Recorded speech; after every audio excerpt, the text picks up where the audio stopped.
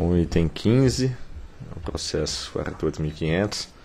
287, 2016-39. Recursos administrativos interpostos pelas empresas Rio Sucuriú Energia S.A., Empresa Energética Porto das Pedras S.A., em face dos despachos 653 e 654 de 2016, emitidos pela SRM e pela SRG, que apresentaram as condições de repactuação do risco hidrológico no ambiente de contratação regulada das PCHs Buriti e Porto das Pedras. Diretor relator, Dr. Reive Barros. A Lei 13.203, de 8 de dezembro de 2015, estabeleceu que o risco hidrológico suportado pelos agentes de geração hidrelétrica participantes do Mecanismo de Relocação de Energia, MRE, poderá ser repactuado pelos geradores desde que haja anuência da ANEL, com efeitos a partir de 1 de janeiro de 2015, mediante contrapartida dos agentes de geração hidrelétrica. A ANEL publicou a Resolução Normativa A684, que estabeleceu os critérios para anuência e as demais condições para a repactuação do risco hidrológico de geração hidrelétrica por agentes participantes do MRE. Em 15 de janeiro de 2016, as empresas de Rio Sucuriu Energia S.A., Empresa Energética Porto das Pedras, ambas controladas pela ATIA Energia, solicitaram a repactuação do risco hidrológico da PCH Buriti e PCH Porto das Pedras, respectivamente. Em 17 de março de 2016, com o fundamento da nota técnica 87 da SRM-SRG, foram publicados despachos 653 e 654, que anuíram a repactuação do risco hidrológico das PCHs Buriti e Porto das Pedras, respectivamente. Por meio da correspondência número de 24 de março de 2016, a Rio Sul Curiú Energia S.A. apresentou recurso com pedido de efeito suspensivo em face do despacho 653 e por meio da correspondência sem número de 24 de março de 2016, a empresa energética Porto das Pedras S.A. apresentou recurso com pedido de efeito suspensivo em face do espaço 654 da SRM-SRG mediante os despachos 791 e 794, ambos de 30 de março de 2016, o diretor-geral resolveu não conhecer do pedido de efeito suspensivo ao recurso interposto pelas empresas. A SRM e a SRG analisaram o pedido de reconsideração por meio da nota técnica 035 de 18 de abril de 2016, concluindo pela manutenção da decisão proferida e encaminhar o processo para a deliberação da diretoria. Em 14 de março de 2016, o processo foi distribuído. Em 18 de maio de 2016, minha assessoria enviou o memorando 211 é, solicitando a manifestação da Procuradoria Federal, que se manifestou por meio do parecer 266, de 25 de maio de 2016, é o relatório. Procuradoria. Tratam-se de recursos interpostos contra despachos emitidos conjuntamente pela SRM e SRG que anuíram com a repactuação dos riscos hidrológicos com fundamento da Resolução Normativa 684-2015. Ao analisar os recursos, a Procuradoria verificou que tanto os despachos quanto a Resolução Normativa observaram as disposições da Lei 13.203-2015, que admitiu que geradores participantes do MRE repactuassem o risco hidrológico, desde que houvesse anuência por parte da ANEL. Portanto, verifique-se que a lei conferiu à ANEL discricionariedade técnica para avaliar a decisão administrativa que melhor atenda ao interesse público. Nesse sentido, no exercício de sua função regulamentar, a agência estabeleceu critérios que deveriam ser observados pelos agentes que se retiraram do MRE em 2015, quais sejam o retorno da usina ao MRE e a permanência da usina no MRE até o prazo final de sua outorga ou por 25 anos em casos sujeitos a registro. Dessa forma, não se vislumbrando qualquer ilegalidade nos despachos atacados, a Procuradoria reitera o parecer 266-2016, opinando pelo conhecimento e desprovimento dos recursos. Os despachos 653 e 654 anuíram a repactuação do risco hidrológico das PCHs Buriti e Porto das Pedras, condicionando sua eficácia à renúncia de modo irrevogável e retratável ao direito de discutir, na via administrativa, arbitral e judicial, suposta isenção ou mitigação do risco hidrológico relacionado ao mecanismo de relocação de energia. Em seus recursos, as empresas afirmam que tal anuência não considerou as alegadas incompatibilidades dos parágrafos 2 e 5 do artigo 5 da Resolução 684-2015, com o artigo 1 parágrafo 2 11, 11 da Lei 13.203 de 2015, que possibilitou a repactuação do risco hidrológico dos integrantes do MRE, inclusive daqueles agentes que haviam deixado o referido mecanismo durante o ano 2015, hipótese em que, segundo o entendimento das empresas, se enquadram suas PCHs. Por oportuno, transcrevo a seguir os dispositivos citados. Então, na lei do 13.203, no artigo 1 parágrafo 11 os agentes de geração hidrelétrica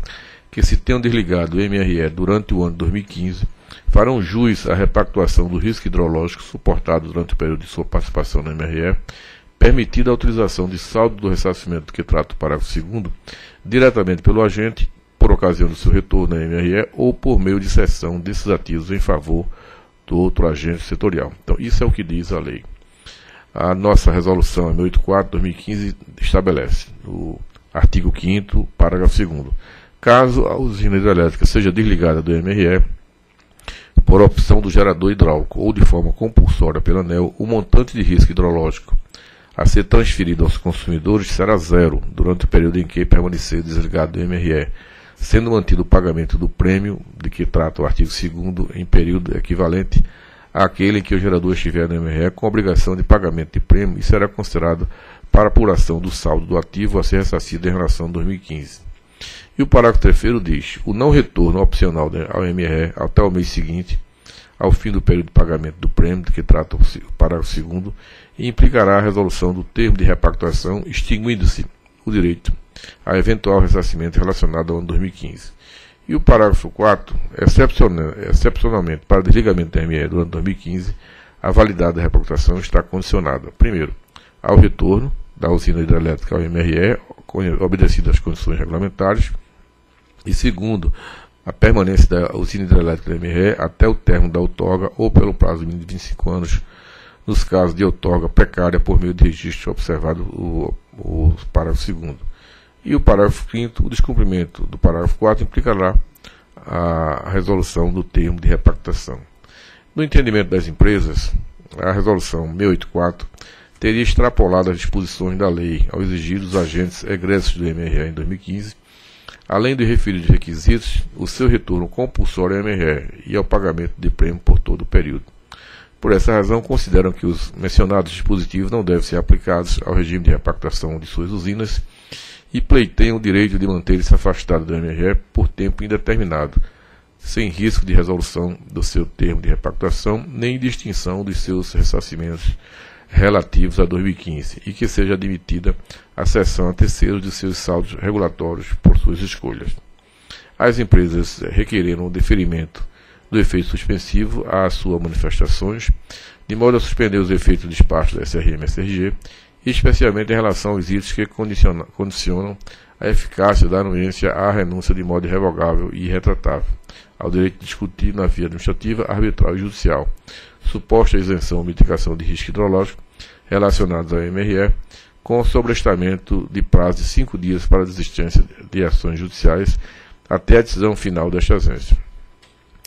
É, requeram também é, que seja declarada a inaplicabilidade do artigo 5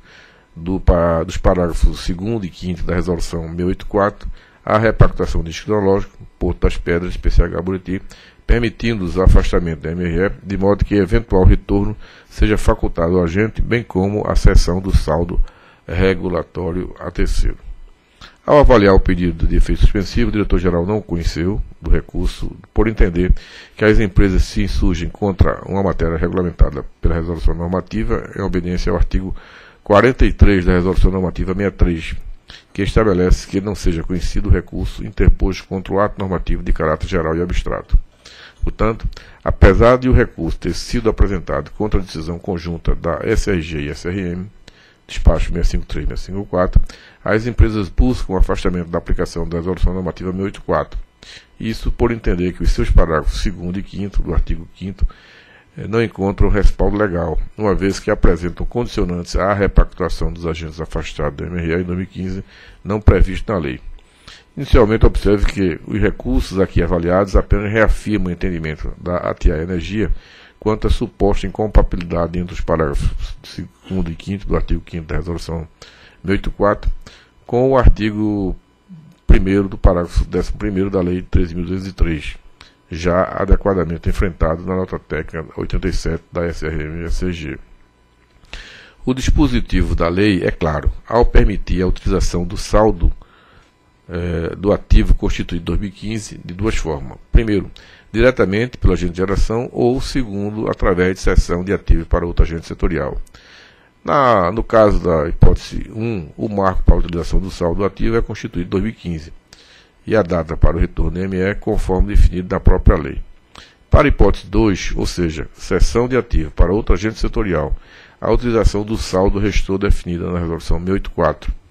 após o cumprimento dos critérios de retorno ME. No prazo regulamentar, há permanência até o final da outorga ou pelo prazo de 25 anos, no caso de outorga precária. O critério de permanência do ME até o final da outorga está condicionado à obediência das condições regulamentares, as quais são definidas na Resolução Normativa 409, mais especificamente quanto aos prazos, o artigo 4 desta resolução estabelece que a adesão ou desligamento do MRE poderá ocorrer a qualquer tempo e deverá ser mantida por um período mínimo de 12 meses. Na hipótese de retorno do ME, dentro do prazo regulamentar, as usinas usufruirão automaticamente do ressarcimento de 2015, por meio da postergação do pagamento de prêmio pelo período correspondente ao produto escolhido. Consultada a Procuradoria opina que os parágrafos 2 e 11 do artigo 1 da Lei 13.203 constituem diretrizes fundamentais a serem seguidas pela ANEL e que, ao contrário do que sustentam as recorrentes, a ANEL não criou uma nova condição inexistente na lei, mas simplesmente definiu critérios a serem observados pelos agentes que se retiraram do MRE em 2015. Tudo isso em consonância com o voto do diretor relator que subsidiou a resolução normativa 684 ao ver a, da Procuradoria Federal, não, não, ao não fixar conceitos sobre metodologia, a lei conferiu ao ANEL competência para disciplinar o tema dentro do seu papel de edição de normas que pormenorizem e especifiquem, do ponto de vista técnico, o espaço deixado pela lei como vistas a melhorar, a melhor disciplinar a necessidade dos agentes setoriais. As superintendências observaram que os pedidos de anuência ao termo de repactuação foram avaliados com o pressuposto de que os empreendimentos teriam se desligado ao longo de 2015. Entretanto, apenas a BCH Buriti se desligou do MRE em julho de 2015, portanto, se enquadra nessa situação descrita. E caso venha a retornar ao MRE em julho de 2016, poderá, a partir daí, iniciar a prorrogação do pagamento do prêmio como forma de usufruto do ativo regulatório constituído em 2015. Como a PCH Buriti permaneceu no MRE por apenas seis meses, em 2015, de janeiro a junho, as áreas técnicas propuseram inicialmente que 50% do montante repactuado tivesse postergação de pagamento de prêmio por quatro anos e seis meses, de modo a compensar o ativo regulatório de 2015, enquanto que os demais 50% do montante repactuado fosse exigido o pagamento de prêmio imediatamente, após o retorno ao MRE, em estrito cumprimento da Resolução 1084. Agora, as superintendências apresentam também uma, uma alternativa de se evitar que uma parcela do prêmio seja paga de imediato, de forma que todo o valor do prêmio seja postergado desde que o valor presente do ativo constituído seja mantido. Esse artifício já foi adotado pela diretoria da ANEL em outros processos de repactuação a pedido das empresas repactuantes. Entretanto, por inexistência de manifestação expressa da empresa sobre essa alternativa que autoriza o encaminhamento da proposta, a mesma não será adotada. Entretanto, ao avaliarem os recursos da PCH Porto e Pedra, as superintendências declaram que o seu desligamento ME ocorreu em janeiro de 2016, logo não é alcançada pelo disposto do parágrafo 11 do artigo 1 da Lei 13.203 de 2015. Assim, não há que se falar em cessão de ativos se sua situação se, e, e sua situação se enquadra nos parágrafos 2 e 3 do artigo 20 da Resolução Normativa 684, conforme abaixo transcrito. Assim, o caso a empresa energética Porto das Pedras S.A. exerça a opção de repactuar o sítio hidrológico, deve-se levar em conta que a referência PCH permaneceu no MRE durante todo o ano de 2015 e constituiu um ativo regulatório por esses dois meses. Ao sair do MRE, a partir de janeiro de 2016, o montante do risco hidrológico a ser transferido para os consumidores será zero, por igual período, ou seja, 12 meses que finda em 31 de janeiro de 2016, dezembro de 2016. Nessa situação, o entendimento da superintendência, do qual compartilho, é que a validade do termo de repactuação está condicionada ao retorno da PCH-MRE, depois de decorridos 12 meses do seu desligamento do mecanismo. Em outras palavras, como a PCH Porto das Pedras se desligou do MRE em 1 de janeiro de 2016, o termo de repactuação perderá sua validade se a usina não retornar ao mecanismo em 1 de janeiro de 2017. Relembro que a Resolução Normativa 409, de 10 de agosto de 2010, estabelece que a adesão ou desligamento do RME poderá ocorrer a qualquer tempo e deverá ser mantido por um período mínimo de 12 meses. E, por consequência, o termo de repactuação do 130 de 2016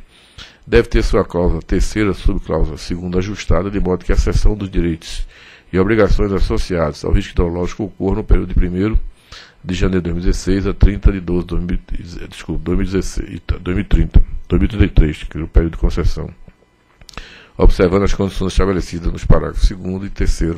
do artigo 5 da Resolução Normativa 684-2015. Além disso, como a empresa optou pelo produto SP100, ao qual está associado ao prazo de postergação do pagamento do prêmio de 4 anos e 6 meses, o período de 12 meses contado entre janeiro e dezembro de 2016 deverá ser inserido na contagem desse prazo, e desta forma deverá ser ajustada a cláusula 4 subcláusula 3 do termo de repactação 130, de modo que o recolhimento do valor mensal a ser depositado na CCRBT se dê a partir de 1 de julho de 2020. Diante do exposto que consta no processo 48.500.0287-2016, dígito 39, voto por conhecer do recurso interposto pela Rio Sucuriú Energia S.A. e a empresa energética Porto das Pedras, em face do despacho 653-654 da barra 2016, da, emitido conjuntamente pela SRM e SRG, que apresenta as condições de repactuação do risco hidrológico no ambiente de contratação regulada, o ACR, das pequenas centrais hidrelétricas, Puriti e Porto das Pedras, para no mérito negar o desprovimento e de ofício retificar o termo de repactuação 130 referente a PCH Porto das Pedras em sua cláusula terceira sobre cláusula segunda, de modo que a cessão dos direitos e obrigações associadas ao risco hidrológico ocorra no período de 1 de janeiro de 2016 a 31 de 12 de 33, observando as condições estabelecidas nos parágrafos 2 e 3 do artigo 5 da Resolução Normativa 1084 de 2015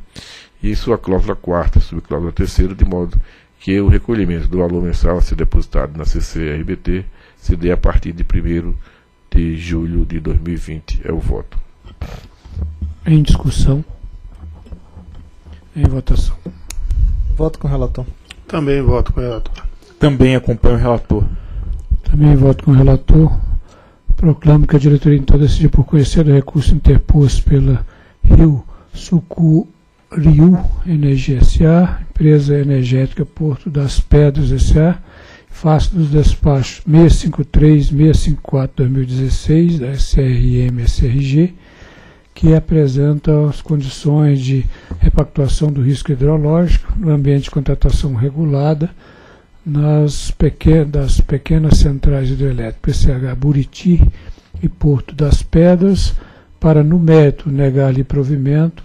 e de ofício. Retificar o termo de repactuação número 130 de 2016, referente a PCH Porto das Pedras, em sua cláusula terceira, subcláusula segunda, de modo que a cessão do direito de obrigações associadas ao risco hidrológico ocorra no período de 1 de janeiro de 2016 a 3 de dezembro de 2033, observadas as condições estabelecidas nos parágrafos 2 e 3 do artigo 5 da Resolução Normativa 684-2015 e em sua cláusula 4 subcláusula 3 de modo que o recolhimento do valor mensal a ser depositado deve ser na conta de recurso da bandeira tarifária se der a partir de 1 de julho de 2020. Esse então era o último item da pauta. Então, declaro encerrada essa 31ª reunião pública ordinária da diretoria. Uma boa tarde a todos.